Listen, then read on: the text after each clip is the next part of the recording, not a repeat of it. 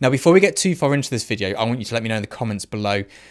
Like, pause it now before we go any further into this. I want to get a a view from you guys. Let me know how do you choose your purchases? Is it based on return on investment or return on creativity? Combination of the both. Let me know below because I'd love to know. I, I really do find this interesting and I, I love the community we have here and it'd be great to hear your insight because otherwise kind of feels like I'm shouting into an empty box, which is not as much fun. One of the problems with being a photographer is that it's a business and it's also a creative pursuit. So in the area I work in, I work as a, a commercial photographer. I work at a reasonably high level. Um, I'm by no means the next Rankin, but I am shooting big jobs nonetheless. And our work comes into like a weird category. We have to do a lot of personal projects, and these personal projects get us the commercial jobs that we actually have no say over whatsoever, and we act as technicians. So it's creative to get the work, and it's business to do the work, which is a weird, weird concept. But with that comes some bizarre purchasing choices.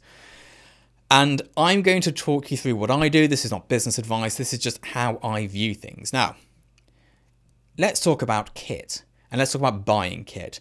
And the two reasons you might want to buy kit. One is there will be a return on investment. And this is very hard to quantify. But for example, the camera I bought this here for doing this jazz here on is a what is it called? It's a Blackmagic Pocket Cinema camera. That's a mouthful, isn't it? 6K. And it's got a nice lens on it. It's pretty sharp and detailed. It's 6K. These are only 4K videos I upload. And my workshops I do, they're only 1080p. So it allows me a lot of creativity in terms of punching in recomposition, different angles from the same 6K shot. Very useful there's a return on investment on this because I can say this camera here shoots my YouTube and my workshops. They bring in this much money. So the cost of this camera has had a return on investment ish on all of this sort of stuff here of this much. Now, of course, there's more bits to the whole thing. And, you know, there's my time, there's the, the ideas, there's the microphone, there's the light, all this other stuff as well. But you can sort of make sense of it. Now, this lens I'm about to potentially purchase which is the Mamiya Sekor Z 110 2.8, which is a, a beautiful lens. I don't need this lens. I've got a 100mm prime sat over here doing nothing. This is my that's my Zeiss Milvus Macro Planar, which is currently an overly engineered negative scanner, uh, which is totally overkill. And we'll get to that in another video. I've also got the 90mm Mamiya Sekor, so I've got two lenses nearly at 100mm. I've got the Canon 100mm. I like 100mm lenses. I don't need this. This, this will not make me any more money, but it is a beautiful lens. It has a beautiful rendering, and visually it does something which the others don't. Same with the macro planar back here. This has a, a particular rendering, especially of highlights, that the Canon lenses just do not have, uh, and no other lenses for a Canon camera. Um, and this is the same for the Mamiya setup. Like the 90 to 110 is, is negligible. The 2.8 on this, very important for those who shoot the RZs, um, but not for me because like, I'm, I'm going to be at F11 anyway. So there really is no financial reason to buy this, but there is a creative reason. There is a look, there is an aesthetic, and I need to decide whether I can justify the thousand to fifteen hundred pounds on this lens for that aesthetic. Will it make me any more money? Maybe. Maybe, maybe over time that aesthetic will become something which works for me. But really, is anyone going to know the difference between a planar, a Sekor, and a Canon. Really? Will they? On a billboard? No, absolutely not. On Instagram? I, I really doubt it. Zoomed in at 100% on my monitor back here. This is my editing monitor back there. Yeah, probably. Probably they could. If they knew what they were looking for. But other people who know what they're looking for, i.e. photographers, my clients, yeah, no. Not so much. So this is an emotional purchase. Also, one of the reasons I like it, listen to this. That is the aperture blades. I wish modern lenses had these still. And that might sound like a stupid reason to drop £1,500, but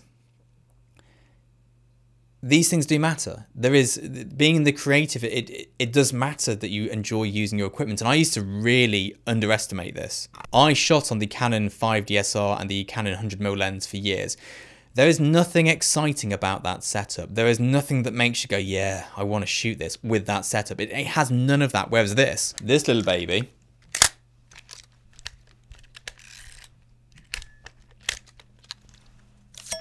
this is all the good stuff. Look at this.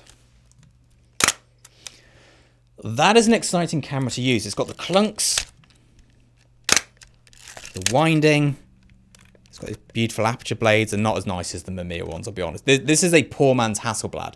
This is the Bronica ETRSI. This is my first ever camera. This, let's get it in focus. This is, I love this camera. This is, oh,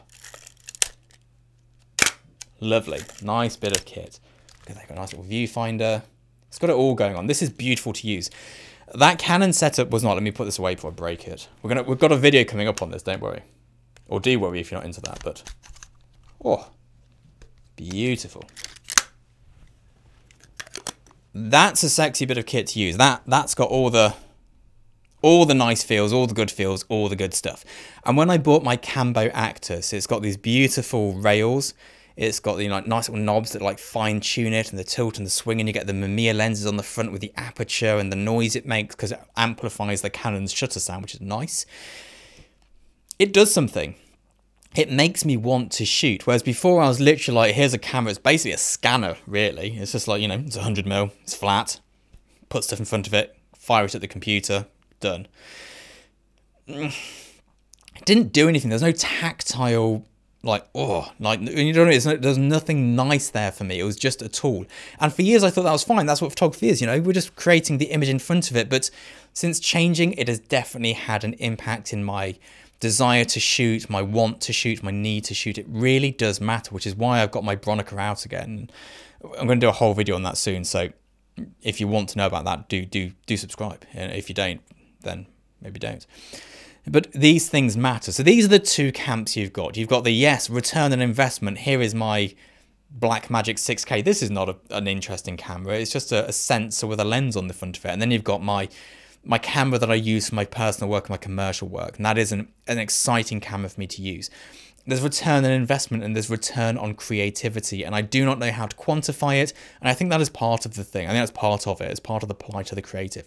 How do you quantify whether it's worth buying something which will not have a financial return on investment but will help with your creativity? And a lot of you will be going yeah but that that camera will have paid for itself by now and it wouldn't have done because I would have still made the money without it with the other camera. Spending those extra couple of thousand pounds hasn't made me get any more work.